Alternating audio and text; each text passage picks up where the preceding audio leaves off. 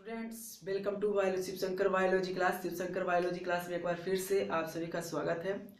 तो स्टूडेंट्स, आज के इस क्लास में हम वो चीज़ बताने जा रहे हैं क्योंकि आपका जो एग्ज़ाम है, टेंथ का, ट्वेल्थ का तो हो चुका, साइंस का एग्ज़ाम, लेकिन टेंथ का जो एग्ज़ाम होने वाले है सत्रह से, उसके बाद एक फॉर्म आने वाली है। उस, आपका जब एग्ज़ाम हो जाएगा टेंथ का तो उसके बाद एक फॉर्म आएगी, उसका, उस फॉर्म का नाम होगा पारा मेडिकल और पॉलिटेक्निक। क्या होगा? पारा मेडिकल और पॉलिटेक्निक तो आज हम उसी टॉपिक में बात करेंगे पारा मेडिकल क्या होता है। तो पारा मेडिकल वह क्षेत्र है या मेडिकल का क्षेत्र होता है। क्या मेडिकल से संबंधित क्षेत्र होती है? पारा मेडिकल क्षेत्र। और उसमें वैसे स्टूडेंट जो पारा मेडिकल ज़्यादा करते हैं, जिसका बैकग्राउंड थोड़ा कमज़ोर होता है या पैसों की प्रॉब्लम होती है तो वो नीट या AIIMS M B B S न कर करके आपका वो पारा मेडिकल करना बेहतर होता है। जिसको डॉक्टर बनना, वो चाहते हैं कि बचपन से कि हम डॉक्टर बने, लेकिन वो पैसों की कमी की वजह से या फिर उसका बैकग्राउंड थोड़ा उनका कमज़ोर होता है या पीछे का बैकग्राउंड जो होना चाहिए, वो नहीं हो पाता पैसा का अभाव कारण। तो वो बाहर पढ़ने नहीं जा पाते। क्या? जैसे बाहर बाहर लोग बाहर जाते हैं पढ़ने। पटना जाते गया पटना, जहाँ भी जाए, नंदा दिल्ली, ढाका, जहाँ भी जाए, वो बाहर पढ़ने जाते हैं डॉक्टरी। क्या कि डॉक्टरी की तैयारी करने जाते हैं, नीट की तैयारी करने जाते हैं और एम्स की तैयारी करने जाते हैं। तो अगर उन जिनके पास पैसा, वो बाहर चले जाते हैं और जिनके पास नहीं पैसा है तो वो उनका तो सपना अधूरा रह जाएगा। लेकिन वो क्या करें कि जिनका सपना अधूरा नहीं रखें वो एक मेडिकल से संबंधित कोर्स कर ले, उस कोर्स का नाम होगा पारा मेडिकल और पारामेडिकल दो तरह का कोर्स होता है, एक पारामेडिकल डेंटल होता है पीएमडी और एक होता है पारामेडिकल टेक्निकल यानी पीएमटी तो पीएमडी जो होता है पारामेडिकल डेंटल होता है, जो आपका होता है टेंथ लेवल पे। अब जब टेंथ का एग्ज़ाम दे देंगे तो आपका होगा पारामेडिकल डेंटल दांत वाले। उसके बाद जो मेन पारामेडिकल होता है, आपका होगा इंटर पे यानी आईएससी के बाद। आईएससी में अगर पारा मेडिकल करना चाहते हैं तो आईएससी में आपका मेन मुख्य विषय होना चाहिए बायोलॉजी क्योंकि आपका बायोलॉजी होगा, तभी आप पारा मेडिकल कर पाएँगे। और टेंथ वालों के लिए बता दूँ कि टेंथ वाले कोई सब्जेक्ट की ज़रूरत नहीं है। टेंथ वाले टेंथ पास करें, या ना फिर आपका जो एग्ज़ाम होगा, उसके समझिए एक दो दिन के बाद या एक सप्ताह के बाद एग्ज़ाम होने के बाद आपका डायरेक्ट पारामेडिकल का फॉर्म आएगा और उस फॉर्म को आप भर लीजिएगा। भरने के बाद जो तैयारी होगी, आपको यूट्यूब पर शिव शंकर बायोलॉजी क्लास पे आपको पूरी डिटेल आपको बताया जाएगा। पारा मेडिकल में कैसे कैसे तैयारी करना है आपको, तैयारी हो जाएगी, हम तैयारी करवाएँगे आपको। और हमारा जो व्हाट्सएप नंबर जानते हैं या फिर नहीं जानते तो स्क्रीन पर जो दिख रहा है व्हाट्सएप नंबर आप व्हाट्सएप पे कांटेक्ट करें, क्योंकि टेंथ का हम तैयारी व्हाट्सएप पे ही करवाए हैं और ट्वेल्थ का भी तैयारी करवाए हैं तो पारा मेडिकल का भी तैयारी हम व्हाट्सएप पे ही करवा देंगे। और जो मुख्य क्वेश्चन होगा, जिस कुछ कुछ क्वेश्चन जो होती है वो ऑनलाइन बताना संभव होता है कि वो ऑनलाइन ही सही होगा आपके लिए तो वो वीडियो मतलब प्रोवाइड किया जाएगा उस क्वेश्चन को ताकि आप को बढ़िया से यानी बहुत अच्छे तरीके से पारामेडिकल की तैयारी कर लें। और हमारा व्हाट्सएप नंबर जो आपको दिख रहा है, कोई भी क्वेश्चन हो पारामेडिकल से रिलेटेड तो आप हमें इस व्हाट्सएप पर शेयर कर सकते हैं कि, सर, ये मुझे क्वेश्चन नहीं यार आप बता दो। मैं आपको उस वीडियो के माध्यम से या फिर डायरेक्ट व्हाट्सएप पर आपको सोल्यूशन भेजूँगा या फिर वीडियो के माध्यम से बताऊँगा। तो स्टूडेंट्स आज हम पारामेडिकल की बात कर रहे हैं कि पारामेडिकल आपका बैकग्राउंड नहीं अच्छा होगा तो आप कर पाएँगे पारामेडिकल पारामेडिकल क्या होगी? आपको जो तैयारी करवाई जाएगी, तीन महीने का कोर्स होगा। यानी आपको 20 फरवरी के बाद, यानी 20 फरवरी 2020 के बाद आपकी एक फॉर्म आएगी। यानी मार्च मार्च तक मानिए, मार्च के फ़र्स्ट वीक या फरवरी के चौथे वीक यानी फरवरी के फोर वीक और मार्च के फ़र्स्ट वीक में आपका एक फॉर्म आएगा फॉर्मेट का तो भरिएगा, उसकी तैयारी की जिम्मेवारी हमारी, हम तैयारी करवा देंगे आपको। आपसे एक भी पैसा नहीं लिया जाएगा तैयारी करवाने का, हम सिर्फ़ व्हाट्सएप पे होगा, हमारा व्हाट्सएप नंबर पे आप सेव कर लीजिए मोबाइल में व्हाट्सएप नंबर और उसी व्हाट्सएप पे हमारा कॉन्टेक्ट होगा। आपको जो भी क्वेश्चन पूछना होगा व्हाट्सएप पे पूछ सकते हैं।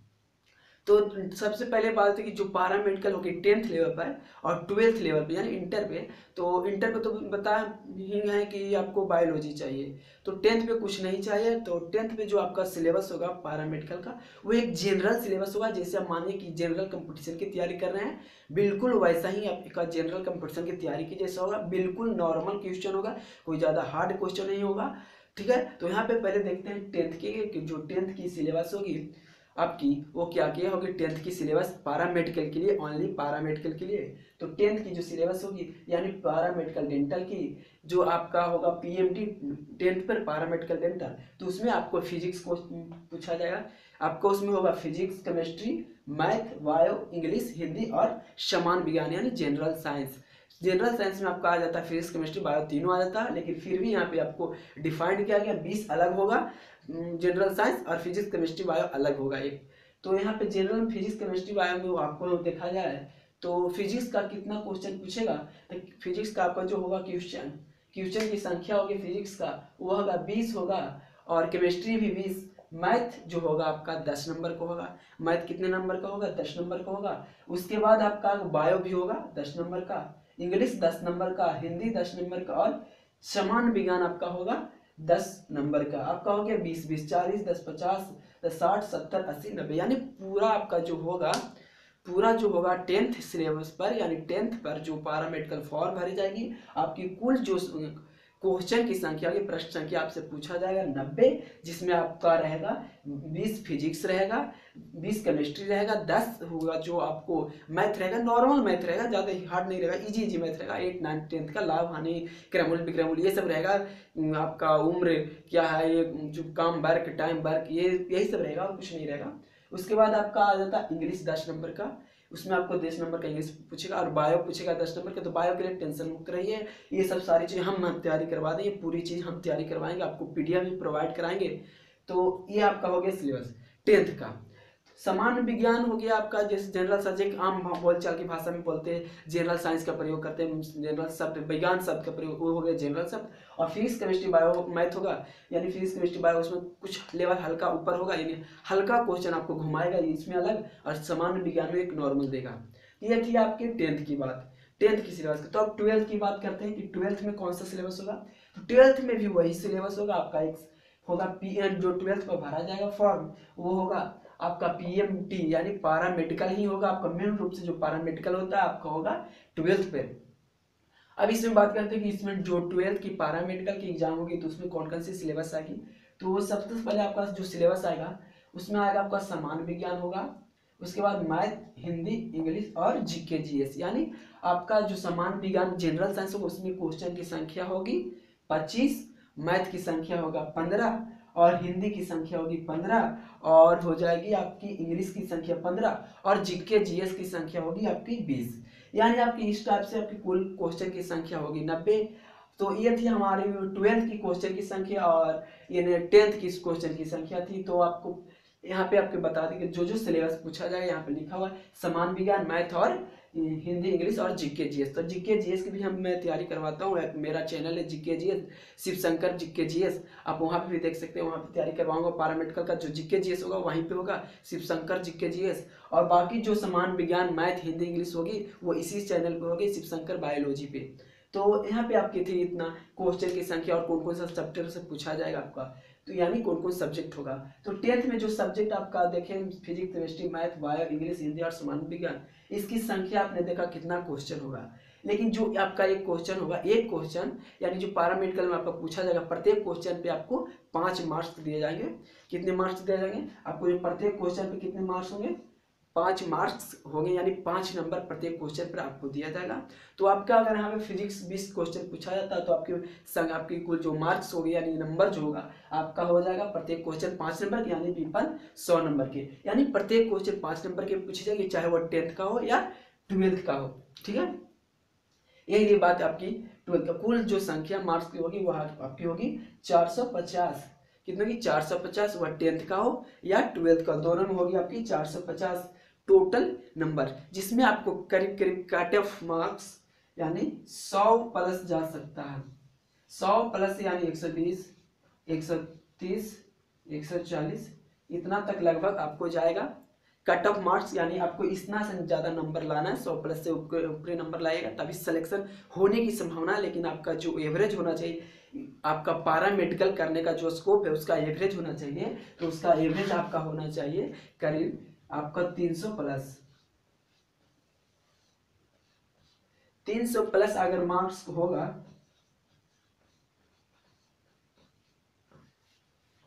300 प्लस आपका एवरेज मार्क्स होना चाहिए कि आपने 300 प्लस मार्क्स लाया है तो आपकी सिलेक्शन पक्की है, आप काउंसलिंग होगी, उसके बाद आपको डायरेक्ट कॉलेज में एडमिशन होगा। तो कॉलेज में सरकारी गवर्नमेंट में एडमिशन होगा, जहाँ आप पारामेडिकल की पढ़ाई पढ़ेंगे दो साल की, और वहाँ के बाद उसको डिग्री मिलेगी। तो ये थी हमारी सिलेबस पारामेडिकल की टेंथ और ट्वेल्थ की। तो अब बात करते हैं कि पारामेडिकल करने से क्या होगा। तो पारामेडिकल करने से क्या होगा? यहाँ पे आपकी बात आती है कि पारामेडिकल करने के बाद क्या करें? जब आपकी पारामेडिकल हो जाएगी, यानी पारामेडिकल के बाद। पारामेडिकल के बाद। पारामेडिकल के बाद आपको जब डिग्री मिल जाए तो क्या करें? आपको सबसे पहले मुख्य भूमिका आपको होगा कि आप जब कॉलेज में आपकी सिलेक्शन होगी, आपको एडमिशन जब काउंसलिंग के लिए बुलाया जाएगा, जब एडमिशन आपकी होगी तो आप सबसे पहला मुख्य रूप लेंगे पैथोलॉजी यानी जाँच वाले, जो हिंदी बोलते हैं जाँच। हिंदी में जो जाँच होती है, यानी पैथोलॉजी जो होगा आपका पैथोलॉजी होगा। तो पैथोलॉजी अगर आप लेते हैं जाँच वाले तो लैब की, यानी लैब होगा लैब टेक्नीशियन होगा एल पी लैब टेक्नीशियन आपका होगा L T P L T paramedical paramedical lab technician या फिर इसको इस टाइप से भी लिख सकते हैं। पी एल टी यानी पारा लैब टेक्नीशियन या फिर इसको मिलते हैं क्या medicine lab technician M L T M L T या पी एल टी दोनों एक ही चीज़ है पारामेडिकल लैब टेक्नीशियन होगा आपका और उसके बाद आपका जो होगा, ये आपका होगा, इसमें बहुत बहुत बड़ा स्कोप है कि जाँच वाले, अगर आप जाँच वाले बन जाते हैं तो बहुत बड़ा स्कोप बहुत पैसा कमाएँगे। एक्सरे आप इसके अगर आप कर लेते हैं या डिग्री आपको मिल जाती है पैरामेडिकल के थ्रू तो आप बहुत बड़े बड़े हॉस्पिटल में सरकारी में गवर्नमेंट जॉब लग सकती है आपको। आप इस जगह पे जाँच के लिए जा सकते या फिर प्राइवेट सेक्टर में भी काम कर सकते कोई कोई हॉस्पिटल प्राइवेट खुलता है तो वहाँ भी काम कर सकते हैं आप।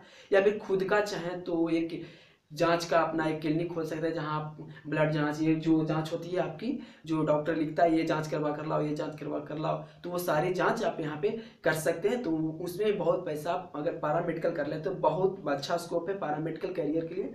उसके बाद आपकी आती है कि जो पैरामेडिकल में कौन कौन सी कोर्स होगी तो कोर्स तो बहुत सारी है तो हम आपको बताएँगे कोर्स के बारे में। लेकिन मुख्य रूप से जो होती है, उसके बाद आगे आपका एक्सरे होगा,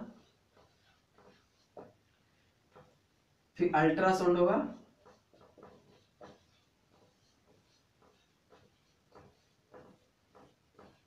ये होगा और एक जाँच होगा, पैथोलॉजी।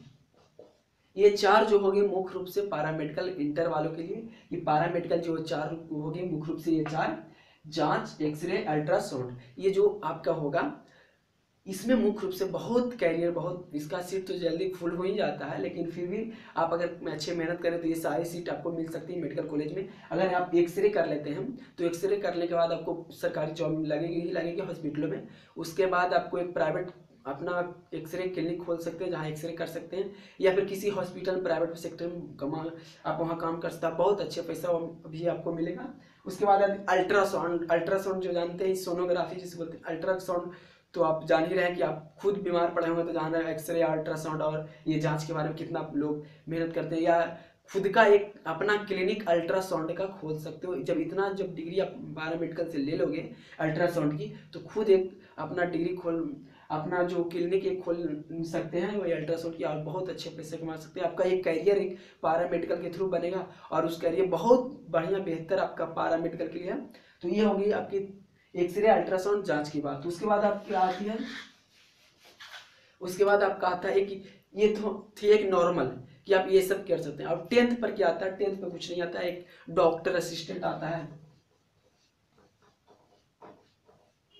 डॉक्टर असिस्टेंट आपका होगा, जो कंप्यूटर होता है, जो सरकारी हॉस्पिटल में कंप्यूटर वगैरह पुर्जा वगैरह जब जाते हैं कटवाने तो पुर्जा जो काटता है ना, वही होता है, टेंथ पे हो होता है पैरामेडिकल या फिर ए एन एम जो गर्ल्स लोग आपको मिल जाए तो ए एन एम के थ्रू होती है, और जो पैरामेडिकल डेंटल होता है ना, वो पुर्जा काटने वाला हॉस्पिटल में वही होता है। बहुत अच्छा उसका भी सैलरी है, आपको बीस हज़ार प्लस है उसका भी सैलरी बहुत अच्छा करियर आपका स्कोप होगा टेंथ पे। उसके बाद डेंटल पे होगा आपका कि जो आप पैरामेडिकल कर चुके हैं, ठीक? तो आपका जो डेंटल का डॉक्टर होंगे, उसमें आप कर सकते हैं। उसके साथ आप काम कर सकते हैं या प्राइवेट सेक्टर या सरकारी जॉब में। या कुछ सरकारी जॉब लगे तो आप सरकार डॉक्टर यानी सरकारी डॉक्टर के साथ काम कर सकते हैं गवर्नमेंट हॉस्पिटल में।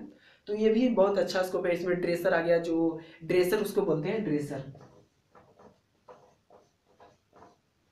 ड्रेसर उसको बोलते हैं, जब हड्डी वगैरह जो हाथ पैर टूट जाते हैं तो उसको जो प्लस्तर करने का काम करते हैं, उसको बोलते हैं ड्रेसर वो भी आता है पारामेडिकल आपको डेंटल के अंतर्गत या टेंथ के अंतर्गत। और एक मुख्य रूप से जो होता है, सबसे बेहतर जो होता है आपका, सबसे बेहतर जो आपका होता है, वो होता है operation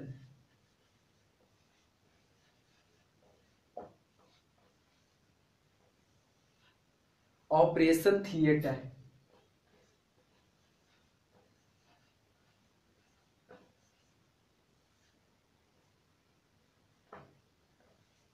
Operation theatre. यानी अगर आप पारा मेडिकल करने के बाद अगर आपका पोस्ट मिल जाता है, यानी आपको वहाँ जब कॉलेज में एडमिशन करवाते हैं एग्ज़ाम पास करने के इंट्रेंस एग्ज़ाम पास करने के बाद तो अगर आपका मिलता है, कॉलेज में आपका सीट जो मिलता है, ऑपरेशन थिएटर में इसका सीट बहुत जल्द फुल होता है। इसका सीट भी बहुत कम होता है, ऑपरेशन थिएटर का। लेकिन अगर इसका मिल जाता है आपका सीट तो आप बहुत कैरियर समझिएगा आपका कैरियर चमका हुआ आपका भाग चमका हुआ है।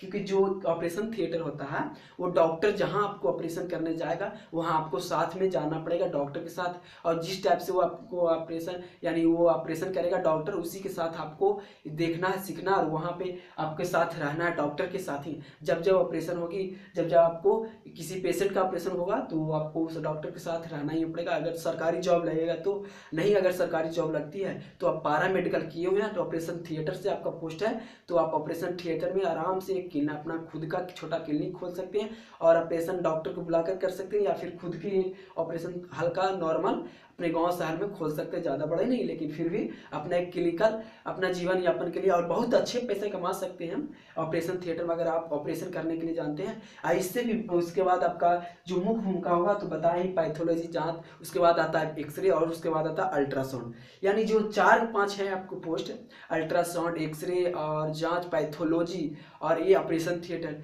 ये आपका पारामेडिकल जो ट्वेल्थ वाले हैं इस पर होता और यह मुख्य रूप से बहुत बेहतर होता है कैरियर के लिए ऑपरेशन थिएटर अगर ये पोस्ट आप सबको मिल जाए, अगर आप करने जाते हैं तो ये सीट आपको मिल जाए ऑपरेशन थिएटर वाली तो आप दो साल पढ़ेंगे ऑपरेशन थिएटर के बारे में। अगर एक अल्ट्रासाउंड के बारे में मिल जाता है तो आप अल्ट्रासाउंड पढ़ेंगे दो साल। पारा, उसके बाद एक पारामेडिकल की डिग्री मिलेगी आपने ई मतलब ई कोर्स से अपना, यानी आपका जो मेन सब्जेक्ट था, ये था, कोई ऑपरेशन थिएटर था, या फिर पारामेडिकल में अल्ट्रासाउंड था, या एक्सरे था। जो भी हो आपका सब्जेक्ट वहाँ जाने के बाद आपको सब्जेक्ट सिलेक्शन होगा, जो आप सब्जेक्ट लेना पसंद करें। लेकिन ऐसे ऑपरेशन थिएटर में आपका सब्जेक्ट जो होगा, ये वाला तो वो फुल हो जाती है सीट आपका। बहुत जल्द सीट फुल होती है। ऐसे तो कहेगा पैसे पे कुछ सीट आपका ये बुक रहता है तो इसके लिए टेंशन नहीं लेना है। तो ये थी पारा मेडिकल की बातें में। तो पारा मेडिकल अगर आप करना चाहते हैं तो देखिए, आप पूरे नोटिफिकेशन जो पारा मेडिकल की आपको मिलेगी नोटिफिकेशन नोटिस जो आपको पीडीएफ में आपको बना दिया गया है, आपका जो पीडीएफ है पीडीएफ में नोटिस बना दिया गया है। अगर आप नोटिस पूरा पीडीएफ में बनाया गया, आप डिस्क्रिप्शन में देखिए, अगर डिस्क्रिप्शन में आपको एक पीडीएफ का लिंक मिलेगा पैरामेडिकल क्या है और दूसरा एक लिंक मिलेगा पैरामेडिकल सूचना। यानी उसमें एक पैरामेडिकल क्या है, उसके बारे में पूरा पीडीएफ में बताया गया क्या क्या उसमें सब्जेक्ट आती है। और पैरामेडिकल सूचना जो आपको पीडीएफ मिलेगा डिस्क्रिप्शन में लिंक उसमें बताया गया है कि पैरामेडिकल का फॉर्म कब भरा जाए कौन कौन जो यही सिलेबस है आपका कौन कौन सा सिलेबस होगा, और कब एग्ज़ाम इसका निकलता है, कब एग्ज़ाम होगा और कब फॉर्म भरा जाएगा। ये पूरी डिटेल आपको वहाँ पे पैरामेडिकल सूचना में मिलेगी। तो आई होप स्टूडेंट हम जानते तो इसके बाद हम जान रहे हैं कि आप सबको यह बारे में समझ में आ गया होगा। तो आपसे यही उम्मीद है कि अगर आप पारा मेडिकल की तैयारी करना चाहते हैं तो डायरेक्ट हमारे व्हाट्सएप ग्रुप से जुड़ सकते हैं। हमारा व्हाट्सएप नंबर यही है जो आपके स्क्रीन पर दिख रहा है।